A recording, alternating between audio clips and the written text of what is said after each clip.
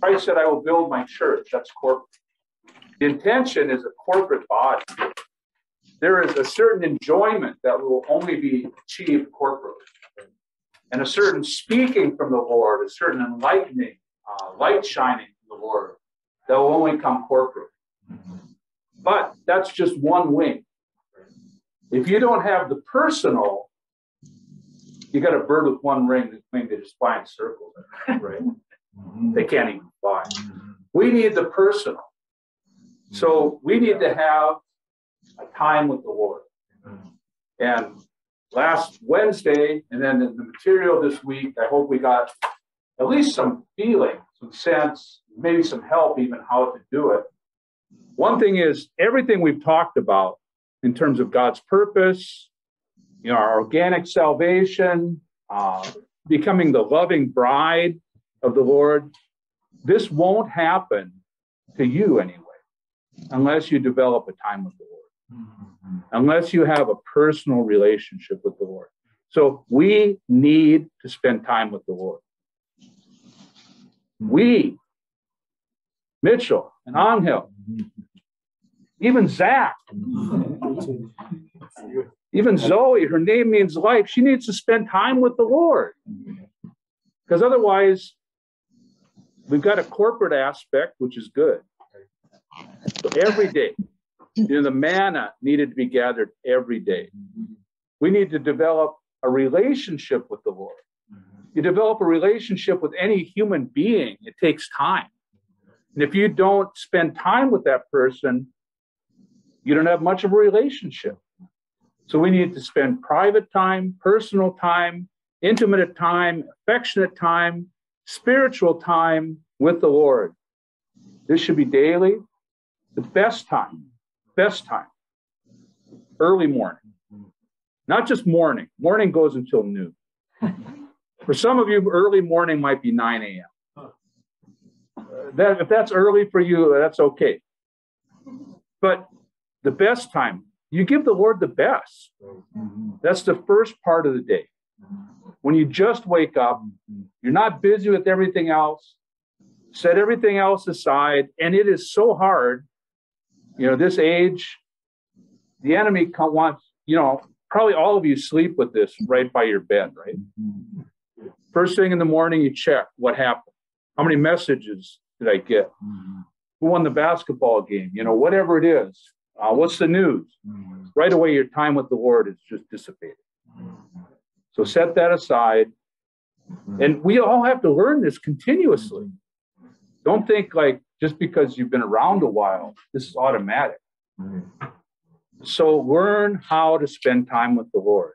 Give yourself to spend time with the Lord because this is an essential, indispensable practice of the Christian life. So I hope this week we got some impressions and maybe we have some experience. Now, one thing about experiences with the Lord, many of them are very private and personal. And it's just between the Lord and I. We, we don't need to share those with anybody else. Uh, but we can say, I really had a good time with the Lord today. I just felt like the Lord loved me. Maybe I had a big failure and the Lord forgave me. Anyway, we, we can share, and this becomes encouraging to each one of us. It's like, wow, even Zach, mm-hmm. if Zach can touch the Lord, if Zach can get up in the morning, you know, to set some time with the what's stopping anybody else in the whole world from doing that? Right? So you want to give the rest of you some time, uh, share something. Know of the introduction at the end to next week, which is going to be really good. So I really enjoy the sharing. This is always so good. Um, I do make need to make one comment though. Um, a sister shared that she's not a morning person. Yeah. This is a sister I had known for longer than some of you have been alive. Um, I just want to say I don't believe there's no such thing, or I don't believe it when anyone says I'm not a morning person. The problem is that you you've just adjusted your being mm. to staying up late at night. Mm. And so it's really hard to get up in the morning. You're just not used to it. And I'm, I mean, I was this way. This is my testimony. In college, I, this isn't a boast, but maybe it's a confession. I usually wouldn't start studying until after midnight. Then I'd get hungry. and I found if I could push through the 2 a.m. tiredness, I could make it till 4. Hmm. As a result, I was not a morning person, unless you count after midnight as morning. So when I became a Christian, I heard this like spend time with the Lord in the morning. It was physically impossible hmm. because I wouldn't go to bed until really late.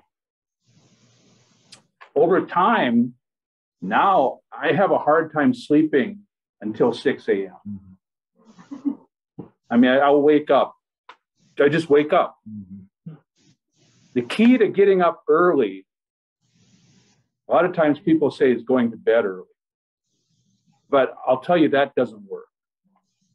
Because if you're not used to going to bed early, it's not going to do you any good to go to bed early because you're not going to be able to fall asleep. Key to getting up early is getting up early because then it works backwards. Yeah. When you get to the evening, it's like, I'm tired. I got up at six this morning. I'm going to go to sleep. Mm-hmm. And in a period of time, your body will readjust. Mm-hmm. So that you'll get used to getting up early mm-hmm. and you'll get used to going to bed early. Anyway, that's just a practical matter. Now, our next series of topics are all related. How many parts does a human being have? Three, yeah. a lot or three. one, one of those is correct. According to the Bible, we, Angel has three feet. We got we got a, a physical body, we have a soul, which is our psychological being, and we have a spirit. All of the things we've been talking about, especially this semester, are pretty much having to do with our spirit. But we've still got a soul and we've still got a body. People get into a, a realm where they're paying attention or misapplying things uh, you know, there's spiritual problems, but let's take care of it through our physical body, right? Or I've got a problem in my soul. Uh, I need to pray more. It's, it's always good to pray more. But we need to see how all these things fit together. Now, we can say, um, how many of you are, are college students? Is, is, is your education important? I mean, really, in the grand scheme of things? No. Okay, that is the wrong answer. Your education is extremely important in the grand scheme of things, even for God's purpose. But that, that should be only if I study theology, right? Or go to Bible school. Okay, you guys are saying no. You know I'm going to say no to that. if you didn't know that, you'd say yes. So, what we want to see, you know, uh, your college students, what should I study? Should I study? Should I just get a, a bachelor's? Should I get a mat? Leon, it's grad school. Is that worthwhile? I, mean, I, to, I got two Leons here. This is Dr. Leon, future Dr. Leon. Is there any point in this graduate school? little bit. Yeah, a little perhaps. There's a lot of point in that. Mm. Who who who should I marry mm. if you're not married? You know, should I have children? Where should I live?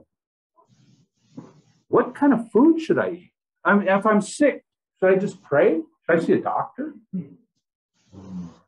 You know, people get into an over spiritual realm but then on the other hand, they separate these things from things of God.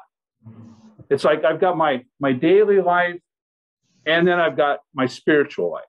I'll, I'll just keep these apart without realizing they are intimately connected. And you need your daily life. You need your human life. You need a proper human life. Otherwise, you are no good for the Lord. So this week, you know what the topic's going to be? Education. And we're not doing this just in the way of, oh, we got to talk about this, you know, give some, like I said, your education is extremely important. We have to see why. We have to see what the Lord is going to gain out of it. We got the. Now, the title is not education, is it? What does it say? Pillar builders. Pillar builders. This is not just a catchy name. This is from the Bible. It's also catchy. Let's see. It says not just catchy. So we're going to get into this this week, and I hope we, I hope we can get really enlightened. So Wednesday night, what time? Seven thirty. Where? Ford Hall, one fifty.